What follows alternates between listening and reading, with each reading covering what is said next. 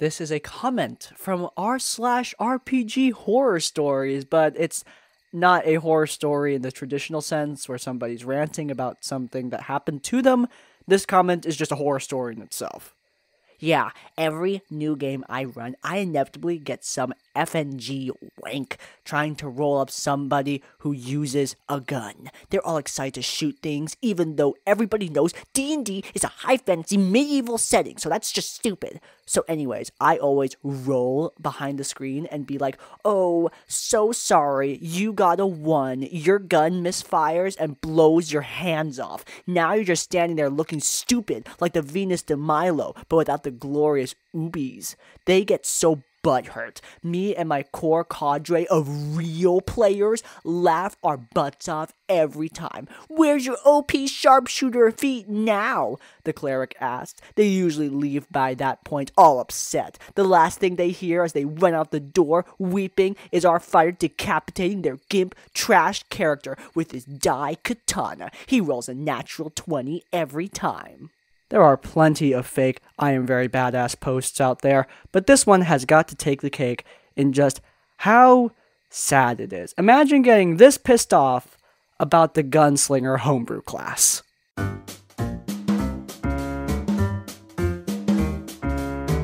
You've got to love Dungeons and Dragons. It's the only hobby I know of that can show you just how whiny, unsportsmanlike, and downright creepy some seemingly well adjusted people really are, and I'll always treasure it for that.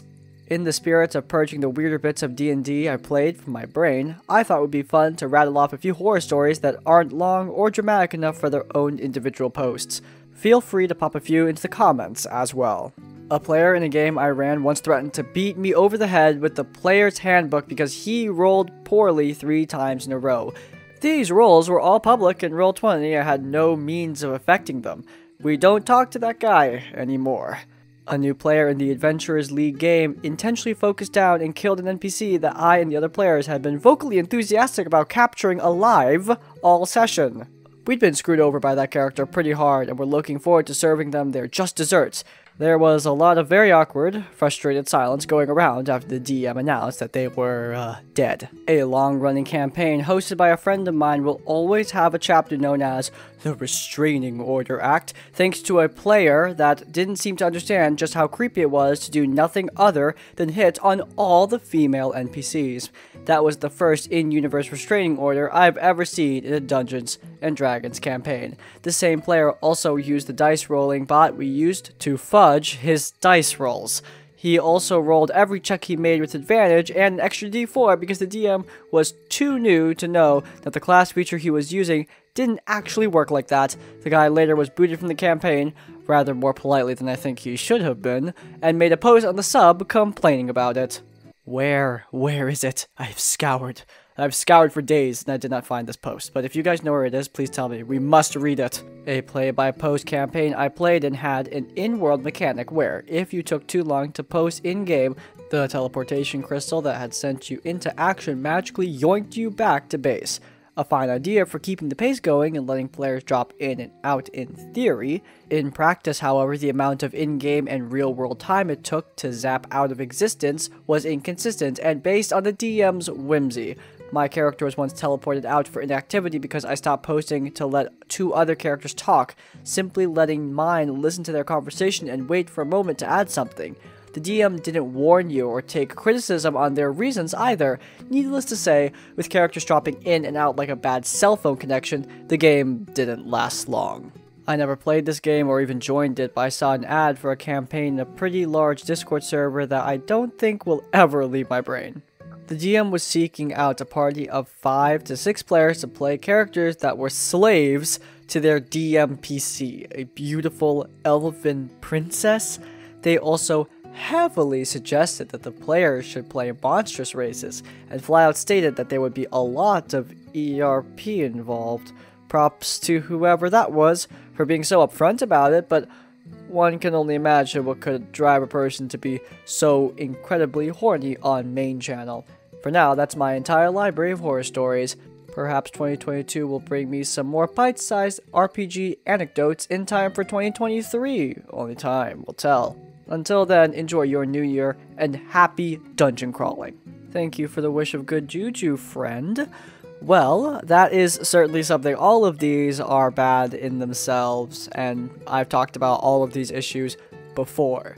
Maybe not the heavy ERP game, but you know, at least the DM is honest. And if he finds a group that's uh, into that, then, well, you know, good for them. But maybe maybe not put it on the main channel. It uh, it's not exactly the place. But yeah, I'm glad that the OP still enjoys Dungeons and Dragons even after all of these.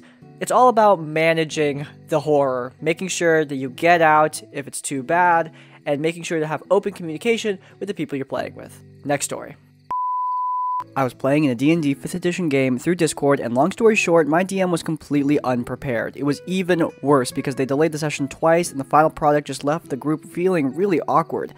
When asked why, the DM explained that he only had 15 bucks to spend on the game. I responded with, Why didn't you just get Adventures in Thistledown from Tabletop Totality? Tabletop Totality is back on this channel, sponsoring us once again with their newest Kickstarter, Tales in Drakuva. This is a full new adventure book for Dungeons and Dragons 5th edition that takes place in the city of Thistledown, acting as the introduction to Tabletop's brand new homebrew world, Drakuva.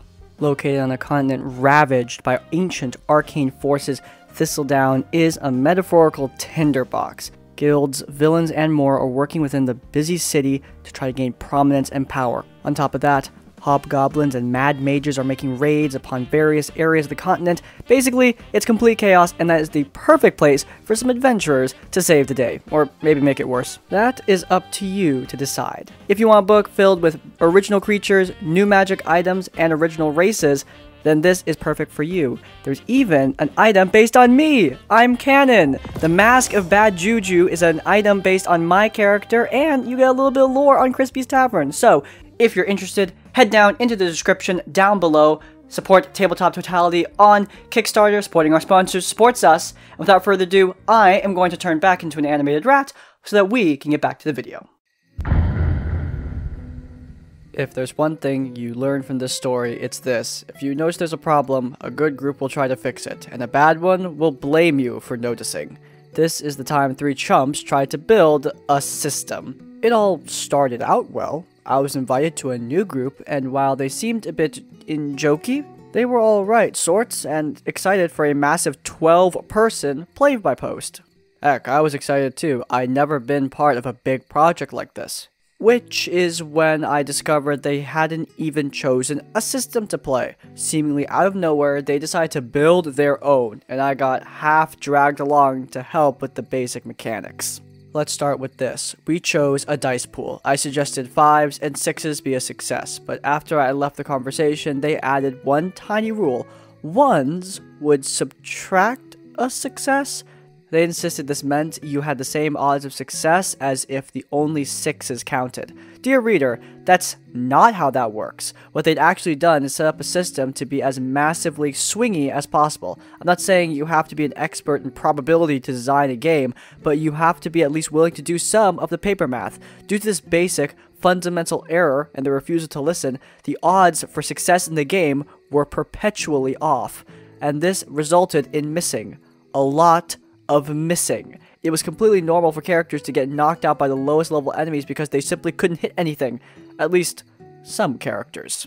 Debacle number one. There were two broad racial categories of the group, and Group A got nothing. Jack Squat. I really meant that. Due to miscalculation, it was impossible to reach stat cap, um, ever in the entire game, and the race's big bonus was a plus one to your stats. In a game where the cap was set to 400. But I guess you'd be a pretty swag fella, sitting pretty at 401. Plus, this race got a second feature. You could add 3 dice, a whole half a success to any roll, once in every real life week.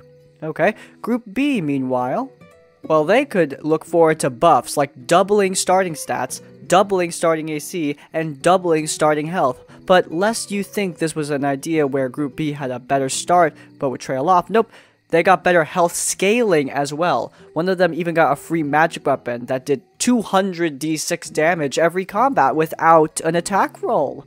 Those of us in Group A did 3d6 damage, and that's only if we actually landed a hit. Did I mention that Group B was almost entirely the DMPCs and their personal friends? Yeah, you might have guessed. I'm not going to say the DMs cackled like banshees and purposefully gave out the best crap to themselves and their friends, but they definitely paid more attention to their own goodies, and it worked out to the same thing at the end. As for why I didn't quit on the spot, well, this all happened over the course of about a month.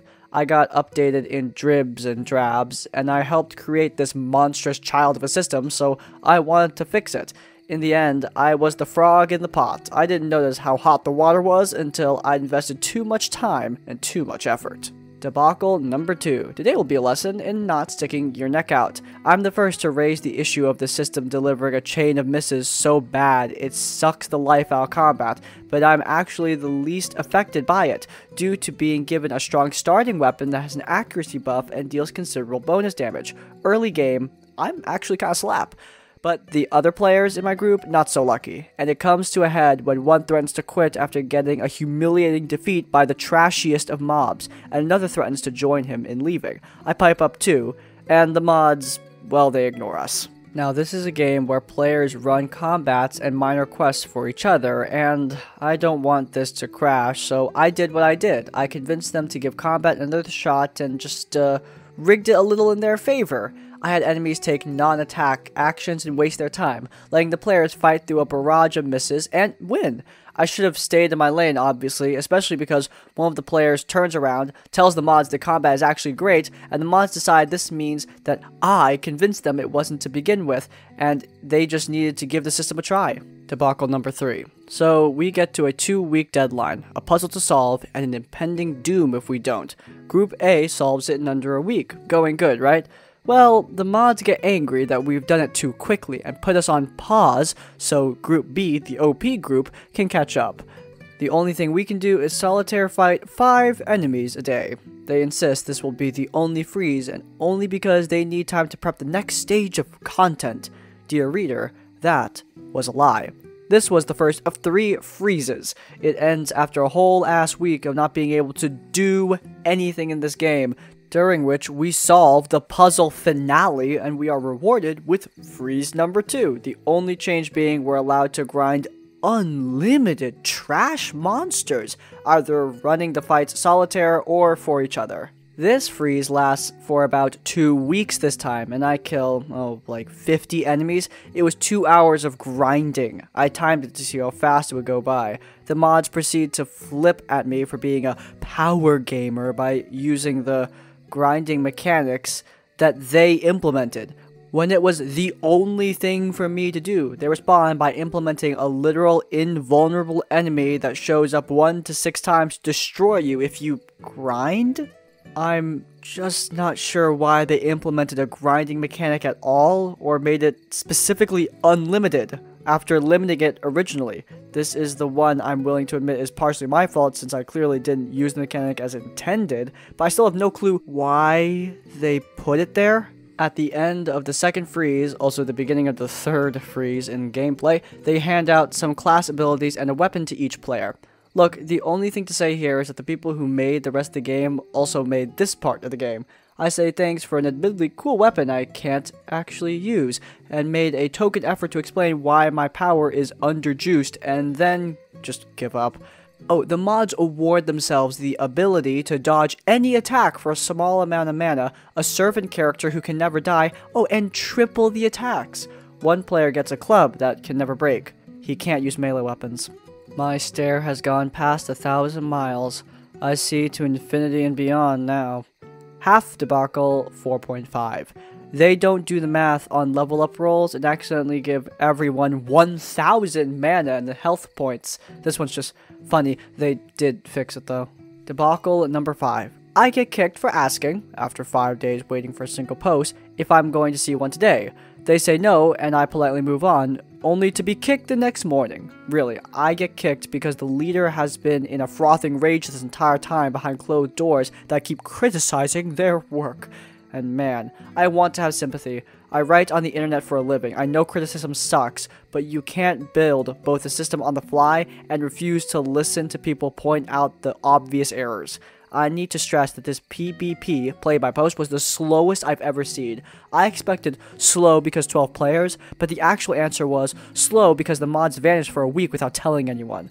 The game regularly stretched 5 to 10 days without any kind of post, and any questions were met with the DMs announcing they were so stressed and on the edge of burning out.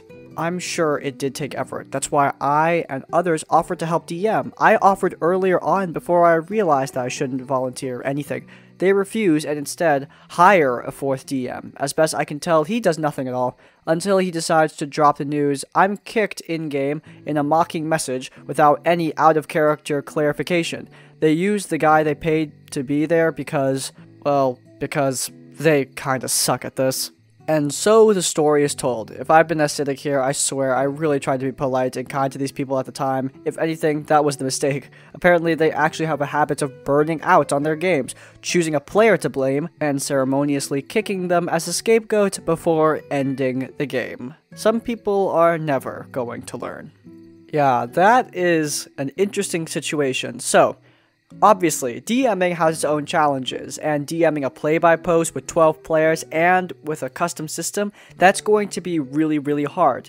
If you can't handle doing that, don't do that. DMing is already a responsibility. If the DM can't manage a good game, the players aren't going to have fun. A lot of the responsibility of a game's fun does rely on the DM, so don't take on more than you can handle as a DM. Otherwise, it might result in a game that doesn't work out.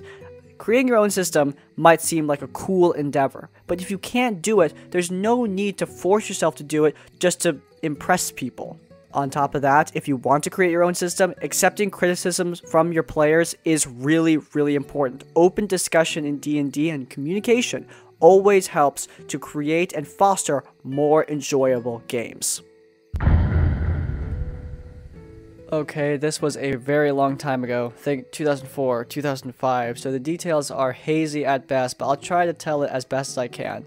But my first time playing with a new group, as I had just finished my first year of college and I was in a new place, I rolled a brand new 3.0 character, a half elf fighter, if you must ask. Very young, however, I think the starting age of 20, you know, because I was approximately that same age. I was the only female character in the group. No, this isn't going the way of, oh, you're a girl, you should play a healer, because we had a better, more experienced healer already, luckily. However, the DM did get weird in the second or third session. Had some evil wizard or deity wave his hands at me in particular. Found out at the end of the session, oh, uh, by the way, you're pregnant. And almost everyone stopped to go, wait, what? And he just sort of shrugged and went, magic and whatnot. No one seemed to have more of a problem with it other than, well, that was unexpected. And I was like, uh. A few more sessions go by, and I guess we burned through his campaign faster than he thought we would, because I was just in the second trimester by that time. So we came to the big bad, and he had me fall to my knees and clutch my stomach. In an instant, my baby bump vanished, and standing in front of us was a woman that looks like you with elements of that wizard you saw before, only she's brandishing a weapon and threatening you. So the DM looks at me cockily and does that, so what do you do thing that we all know and love, and I say, well, I draw my great sword and attack, seeing as this wasn't a child I wanted, or even birthed, or could even prove was mine. He was not amused, told me to roll, so after some presumably bad rolls on his end and a few decent rolls on my end, I eventually landed a critical hit. While the other four party members stood and watched, I basically decapitated quote unquote my own daughter. This upset the DM to the point of being red faced, and he said, Well, that's it. The session is done. And started packing up his screen and dice, and everyone is looking at me like, What is wrong with you? Let's just say those few sessions were the only ones I played with that group. TLDR, the DM forced a strange Virgin Mary scenario on me, and I will not hesitate to kill the spawn. I can hear everyone thinking, why didn't you stop it right away? And honestly, I don't know, I was young, stupid, and had a pathological need for people to like me. Plus, I had only been playing a year or two and didn't know this sort of thing was definitely not normal. Thank you for coming to my TED Talk. Look, honestly, in those scenarios, I don't know what I would have done either. You just wait for the session to awkwardly end and I guess walk away from the game. But yeah, walk away. That's the best thing you can do. If you don't have the social wherewithal to just get up and leave at the table, which I totally understand, not a lot of people do have that social wherewithal, just wait till the end of the session, talk to the group, and then gracefully walk out because this stuff, well, it's just weird, creepy, and wrong. This was years ago, Shadowrun game. Three players, I'm the GM. A month or so into the game, one of the players invites a friend he's played with before, says she's cool. We met up before the game, talk a little bit about her previous experience. She hasn't played Shadowrun before, but she boasts of years of exploits and how she is fond of playing wizards. I briefly explained the setting of the game and the premise to her, described the type of game it is, combat is deadly, being the main point I always hammer in. She says she's into it. I'm walking her through chargen. She wants to do magic, but also be good at fighting. Ends up making an orc street mage that focuses on combat magic. More than a few times during our session, she strays off course with lines like, So I hear you also run a D&D game, and we should definitely play D&D sometime, which I didn't think much of at the time. I was one of the GMs that ran non-D&D games around here, so I was used to people having a limited scope of experience. I quickly run her through a combat demo so she can get used to the system, and we finish up as the rest of the group is arriving. We start to play. The party is messing with the local branch of a certain well known elf Go gang.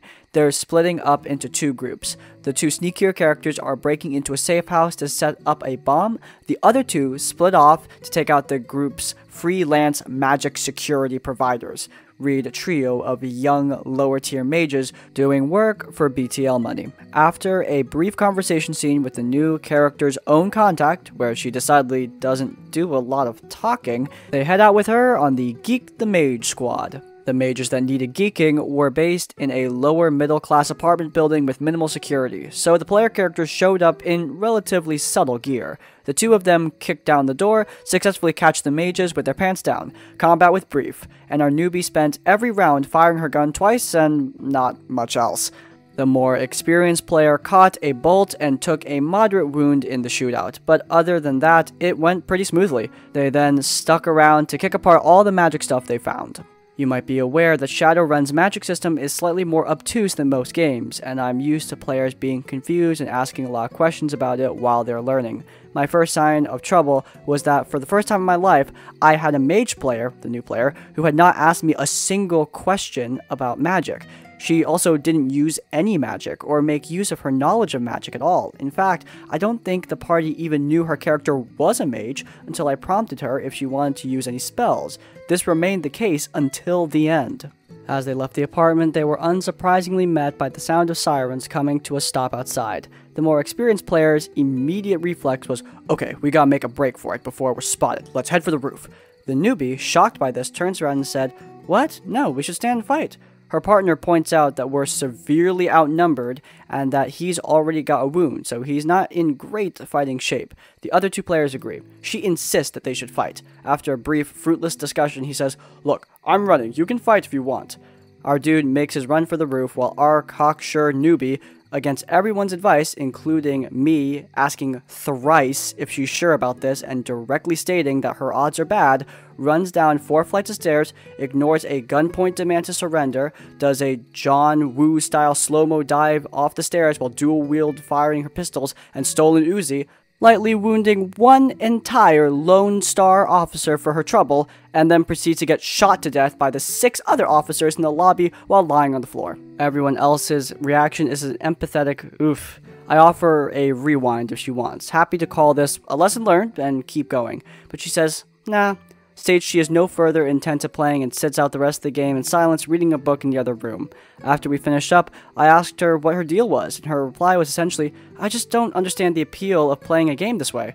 I feel like there's never really a chance to do my character's thing, and what's even the point if you can just get killed off so easily without warning? She wasn't mad or anything, she was just in complete meh mode.